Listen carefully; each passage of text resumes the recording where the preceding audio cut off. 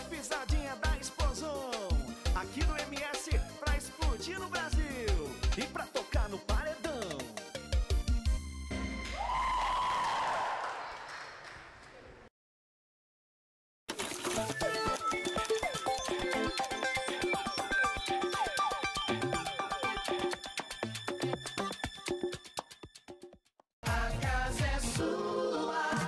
Apoio Verde Flora e Garden Flora. Floricultura e paisagismo.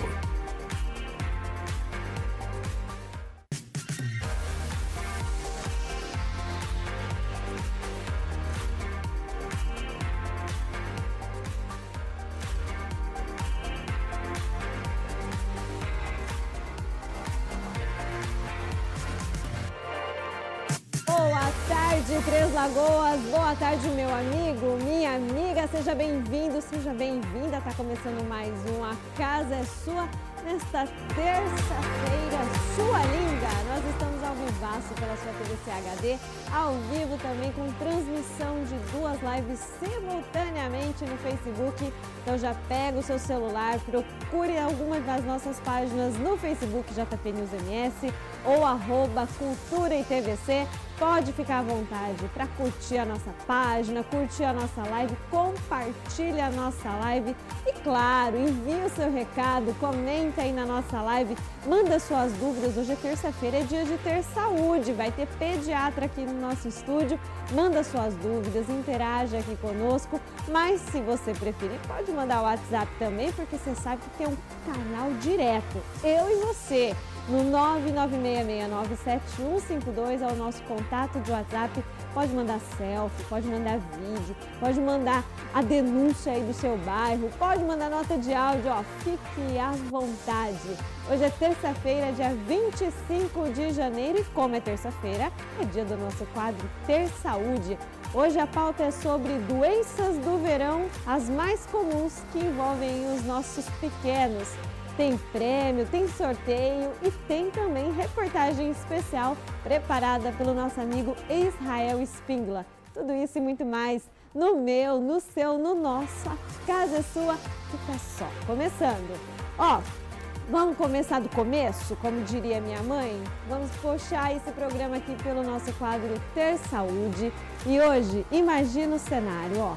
Calor, areia, sol, piscina, rio, um prato cheio para dias inesquecíveis, para esse verão, para as férias da criançada, mas um prato cheio também para um ambiente desafiador para o sistema imunológico infantil. O Ter Saúde dessa semana discute sobre as doenças que mais acometem a criançada durante o verão, durante a estação mais quente do ano. E como que a gente pode se livrar logo delas, né? Bom, chega de papo, roda a vinheta. Ter saúde. A minha convidada do dia é a pediatra doutora Patrícia Matos. Boa tarde, doutora, seja bem-vinda aqui em casa. Obrigada, boa tarde. Bom, doutora, doenças mais comuns durante o verão que mais acometem a criançada? Rotina de consultório, de unidade de saúde, o que, que mais chega para a senhora? Bom, agora no verão, o que chega com mais frequência são as diarreias agudas, conjuntivite, as doenças de pele, sendo impetigo, dermatomicose e os, e as, do, os brotoejas, a milíare, né? Quando a criança passa bastante calor. São as mais comuns. Isso, e a otite, estava esquecendo da otite externa. Eles aproveitam piscina, né, banho de rio, aí acomete bastante o conduto auditivo externo e aparece bastante é, otite externa. E são doenças que os sintomas delas, por vezes, podem confundir agora aí, em meio a uma pandemia, com a Covid ou com a influenza, que também tem ocorrido bastante na cidade, ou são sintomas muito pontuais, bem característicos, que não vão confundir? Então, a diarreia aguda, ela pode confundir um pouco com, com a influenza, porque a influenza, ela dá alguns dias de diarreia, mas a diarreia aguda, ela pode durar até 14 dias e ela vem com sintomas mais específicos. As outras não, são mais pontuais. O impetigo bolhoso são bolhas que dão na pele, ou o crostroso, que são algumas crostas que acometem o nariz. É, a milíare é aquela a brotoeja que aparece mais no pescoço, nas regiões mais quentes, a conjuntivite que não tem como confundir com outras, né? E as dermatomicoses, que são as micoses de pele, que daí não tem como confundir com o Covid. E não vem acompanhada de, por exemplo, um quadro de febre. Sim, a, o impetigo, quando ele é bolhoso ou ele infecta, pode vir acompanhado de febre. Hum, que também é um alerta para Covid. É um alerta para Covid. Então, para a gente descartar o Covid, a criança chega com febre, alguma lesão na pele, mas você fica um pouco na dúvida, Sempre é importante a história clínica, ver se teve contato com algum familiar ou com alguma outra pessoa do convívio que estava positivo ou com sintomas da doença. Uhum. Não posso deixar de perguntar como é que está sendo o cenário da Covid nos postinhos de saúde e também nos consultórios particulares, né? Tá chegando muita criançada, muitos bebês com a Covid, doutora? Infelizmente, mais do que as doenças comuns do verão. Nós estamos tendo muito caso positivo de Covid. São crianças que normalmente tiveram contato com pai, mãe ou tio ou avó positivo. E a grande maioria, graças a Deus, estão tendo sintomas leves, dura dois, três dias e já melhoram. Uhum. Mas os menores de um ano, a gente está vendo um pouquinho mais de complicação a nível pulmonar. Mas o índice está altíssimo, infelizmente. infelizmente. E essas crianças chegam com quais sintomas, principalmente? 90% é febre, prostração, não quer comer, é, não quer brincar, tosse leve, rinorreia, que é aquele nariz escorrendo, bastante aquoso e dor de cabeça. Os que já sabem referenciar a dor reclamam bastante de dor de cabeça. Nossa, que judiação. Não, muita pena.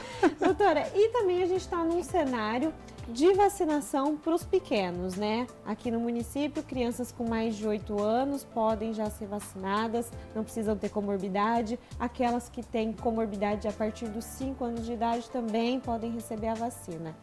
Como é que tem sido a instrução, o diálogo com essas mães? Como é que os profissionais da saúde estão dialogando com esses pais, com essas mães? As mães, assim, o familiar em si está com muito medo e o medo é legítimo, né? É uma vacina que a longo prazo todo mundo não, tem, não sabe o que pode vir a acontecer, mas tem que vacinar. É, até o ano passado teve bastantes estudos, eu li muito sobre a vacina até 27 de novembro do ano passado, nós tivemos quase 3 mil óbitos de criança por Covid de 5 a 11 anos de idade. Aí, se você diluir esses óbitos no tanto que já teve, pode pensar, é um número pequeno, né? Uhum. Se for dentro da sua casa, é um número infinito. Sim. Então, se pegar a doença, pode ser que pode evoluir para um quadro um pouco mais grave. A vacina tem um efeito colateral? Tem, como todas as outras vacinas. Agora, esses efeitos colaterais mais graves que estão sendo registrados são efeitos adversos raros, não é tão comum quanto se julga, quanto se, se fala, quanto se explica. Uhum. Quando você começa a estudar bem a vacina, o efeito colateral dela e o benefício, você vê que o benefício é bem, bem maior do que o, o ônus dela. Uhum. Por exemplo, o surto que nós estamos tendo está absurdo. O número de positivos está gigantesco, só que a grande maioria com sintomas leves. Uhum. E o que prova o efeito o da efeito vacina. O efeito da vacina. Uhum. Porque se nós não estivéssemos vacinado, com certeza nós estaríamos no nosso patamar de abril do ano passado. Uhum. Que o índice de óbito era absurdo, morriam 100 pessoas por dia, quase, né, no, no nosso estado. E graças a Deus o índice está bem baixo e as pessoas mais graves são as não vacinadas. Sim, é verdade. É, doutora, com relação à pandemia e os efeitos nas outras vacinas das crianças, né? É, me recordo que no início do ano passado, é, inclusive a senhora participou do programa para falar sobre isso, né? Ações de busca ativa dessas crianças irem até as unidades de saúde, colocar suas carteirinhas de vacinação em dia, estavam ficando atrasadas, estava preocupando o município de uma forma muito séria Desde então, como é que tem sido? Como é que está hoje? Qual que é o cenário? Então, hoje melhorou muito. Né? A prefeitura fez uma campanha de atualização do cartão vacinal e a gente teve bastante êxito, as mães aderiram e foram vacinar as crianças, mas agora nós estamos voltando a nos preocupar. Muitos não estão levando por medo, eu sempre falo que o medo é legítimo vindo de uma mãe, né?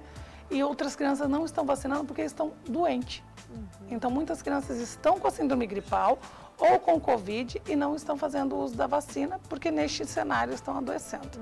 Então, tem, tem crianças que tá ficando doente 15 dias, aí depois melhora, a mãe tem medo de ir, ou a mãe está afastada depois porque a criança ficou doente ou a mãe ficou depois, ou o pai, aí é aquele círculo na família de doenças e acaba atrasando, mas eu faço um apelo.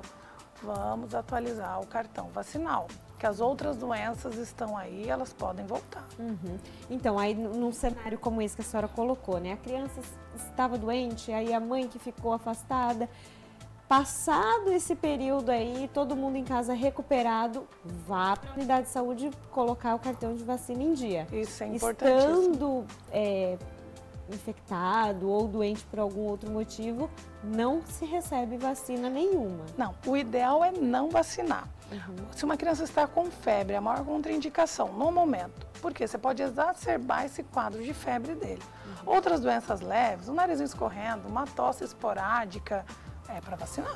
a maior certo. contraindicação no momento é a febre. Nós abrimos esse bate-papo, doutora, falando sobre as doenças do verão e daí a gente seguiu falando para os caminhos da pandemia. Mas vamos retomar o início da conversa, Ah. que eu queria saber se existe alguma prevenção para essas doenças que a senhora elencou lá no início. Tem sim. É, diarreia aguda, aquela criança que mamou bastante no peito, aquela tá um pouquinho mais tranquila com relação às outras. Mas lavar as mãos, não compartilhar objetos, não deixa de ser o mesmo para todas. Lavar a mão, não compartilhar objetos, não ter contato com pessoas contaminadas ou locais contaminados, já ajuda bastante na prevenção. Uhum, na prevenção de toda aquela lista. Toda essa lista. Uma outra dúvida é que no final do ano passado, aqui em Três Lagoas, nós tivemos um quase que um surto, né? Da doença mão, pé e boca. E aí, esses sintomas, muitas mães ficaram preocupadas, muitas mães tiveram medo de ir ao hospital, né? E acabar se contaminando pelo Covid. Enfim, é, quais são os principais sintomas e como é que se trata uma doença como essa? A mão, pé, boca, elas caracterizam por febre, prostração, algumas lesões em palato, quando olha a boquinha da criança, no céu da boca, tá bem vermelhinho, cheio de pontinhos, em volta da boca, cria umas pustulazinhas que são como umas picadinhas de inseto. E você vê na mão e no pé. Ela é autolimitada, ela tem cura espontânea de 3 a 4 dias. O que preocupa é a febre.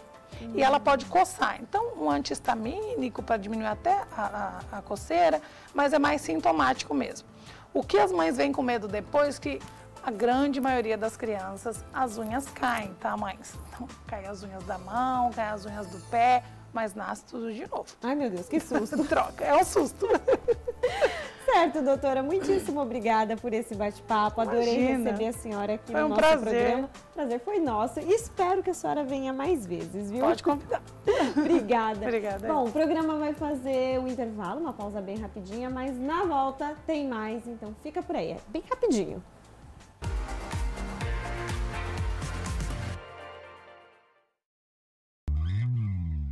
Acontece no esporte amador, regional, estadual e nacional, você fica sabendo no RCN Esportes. De segunda a sexta, a partir do meio-dia e meia. Apresentação Israel Espíndola.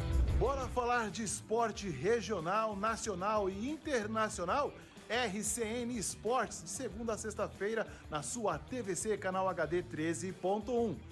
Não vai pisar na bola. RCN Esportes. Apoio Inovatec, Avenida Rosário Congro 809.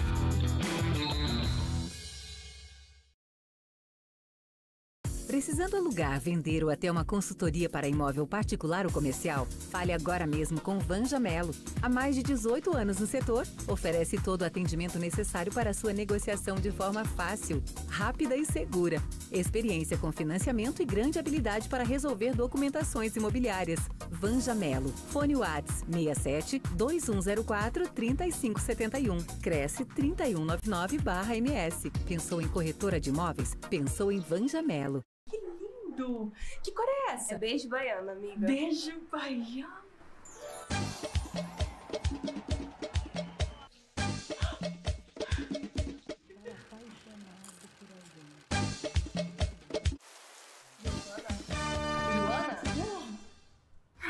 Vixe, Látex acrílico Velo Mais, lata 18 litros, a partir de 234,90. Tinta Velo Piso, lata 18 litros, a partir de 169,90. Casa das Cores, casa com seu estilo, com seu jeito, casa com você.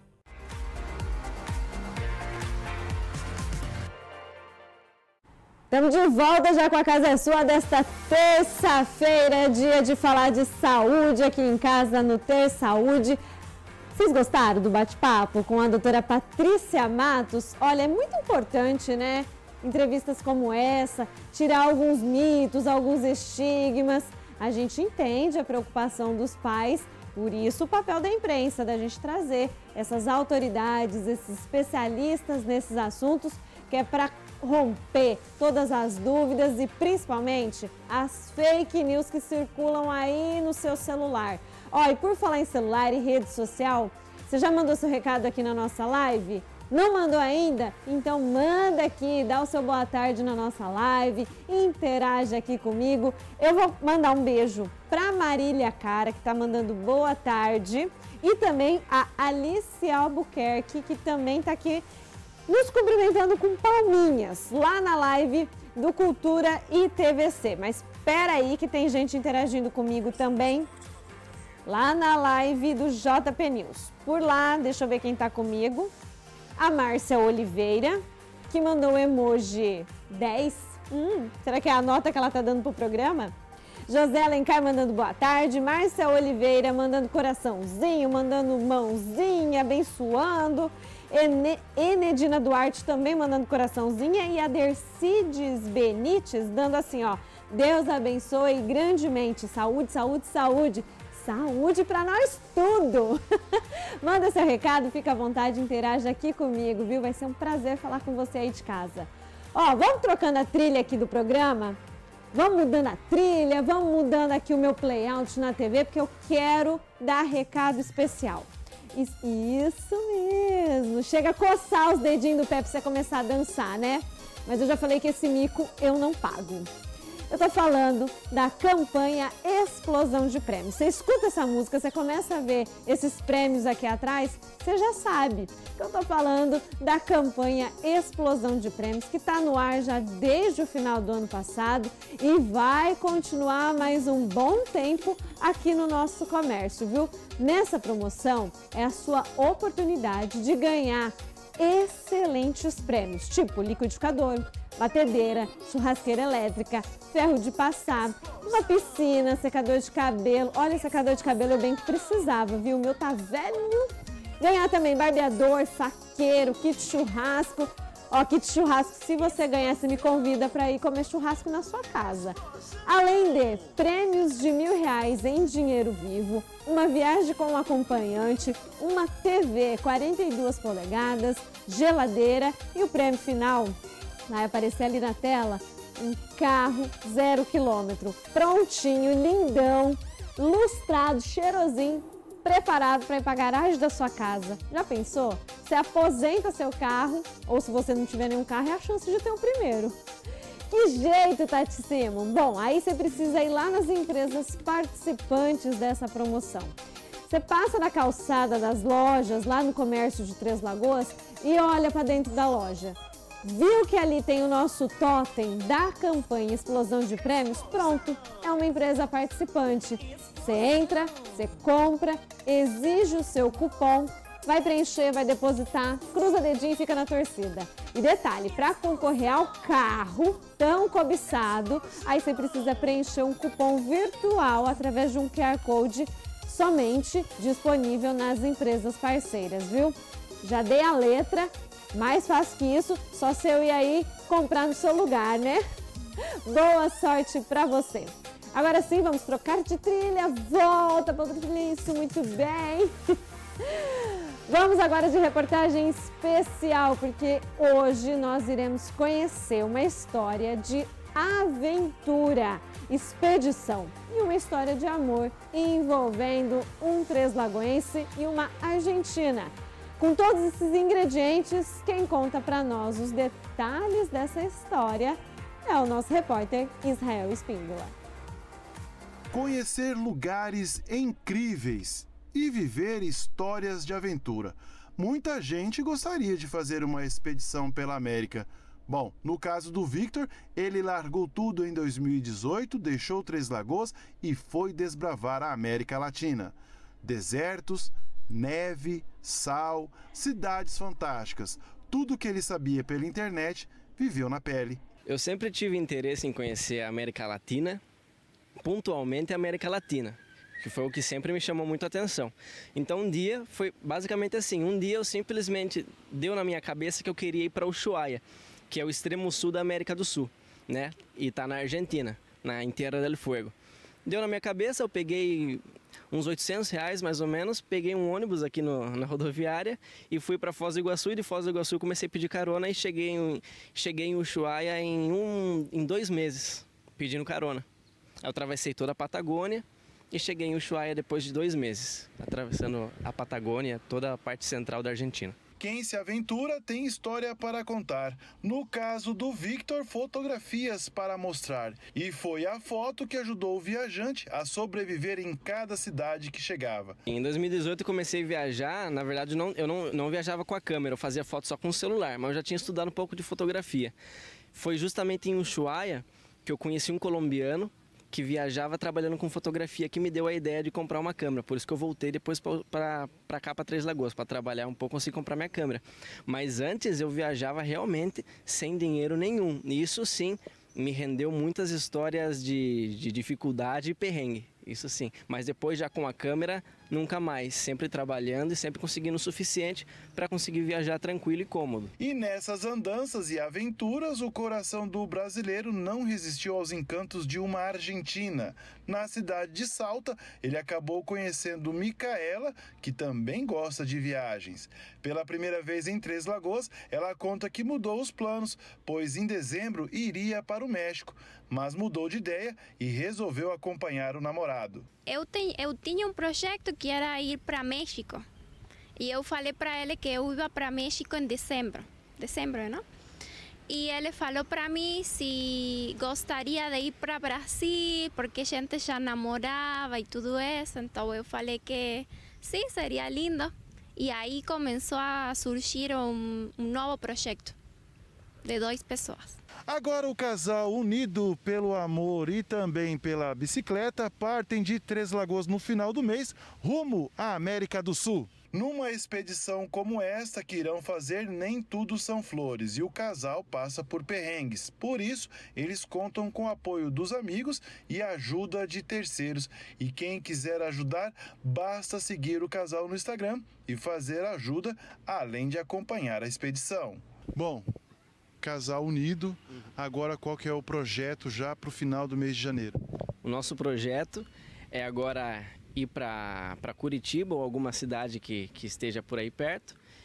Vamos em ônibus e de aí levamos as bicicletas e de Curitiba, basicamente, começamos a pedalar até o extremo sul do Brasil.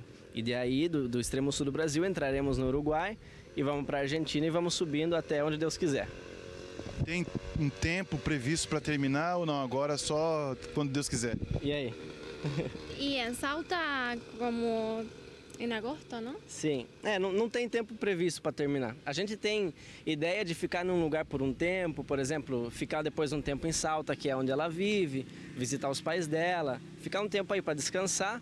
A gente pode também ficar um tempo no sul do Brasil, em alguma cidade que, que seja legal, que a gente goste, mas não tem uma data para terminar, não. A gente só vai viajando. Isso não.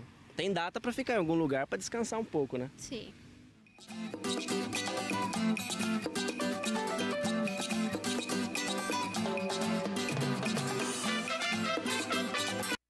Bom, para o Vitor e para a Micaela, desejo então vida longa para esse namoro, que não acabe aí em qualquer estrada.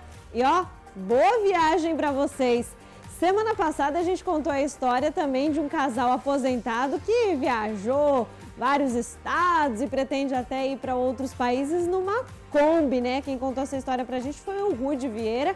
Hoje a gente contou a história desse casal pela reportagem do Israel. E ó, se você aí de casa tem uma história tão bacana quanto essas, ou conhece alguém que tem uma história inspiradora assim, manda aqui pra gente, compartilha com a gente no nosso Facebook, no nosso WhatsApp, que aí, ó, a gente se mobiliza para ir até vocês e conhecer a história. E aí a história de vocês vai ser contada aqui, ó, no A Casa é Sua, no TVC Agora, em toda a nossa programação aqui na TVC. Vai ser um prazer, viu? Bom, nesse clima de viagem, de romantismo, de amor, eu me despeço. Encerro a Casa Sua de hoje, mas amanhã, quarta-feira, estarei aqui de volta, se Deus quiser. Um beijo e tchau! Apoio Verde Flora e Garden Flora. Floricultura e paisagismo. Ganhar um churrasco completo aí na obra? Com direito a carne, carvão, refri e até cervejinha. Acesse jpnews.com.br barra promoções. Churrascão, churrascão na obra. Apoio Dubai Conveniência, Filinto Miller 1684, lado da Tabacaria Dubai. RKM Máquinas, aqui tem soluções. Tietê Materiais para Construção. Clodoaldo Garcia 517. Construluz Mix, solução de concretagem com alto padrão de qualidade. Apoio Mercado e Açougue Fábio Lanches. Churrascão na obra. Ah, a gente pode invadir a sua obra também. Nós vamos invadir sua obra. Vamos perguntar qual rádio você ouve. Se responder Cultura FM, fatura o churrasco na hora. Churrascão na obra. Churrascão da cultura. Jornalismo comunitário com o dinamismo e a imparcialidade que você merece estão no TVC Agora, com o Rude Vieira. É isso mesmo, meu povo. Notícia, informação, interação, tudo isso em um só lugar. Ao vivo, de segunda a sexta, às 11 horas, na Cultura FM e também na TVC HD.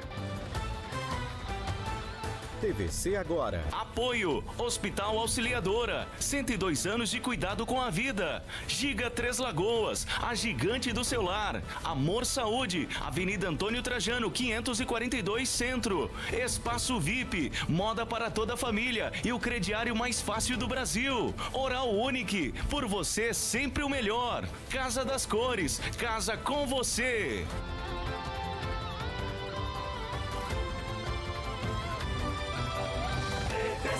Agora.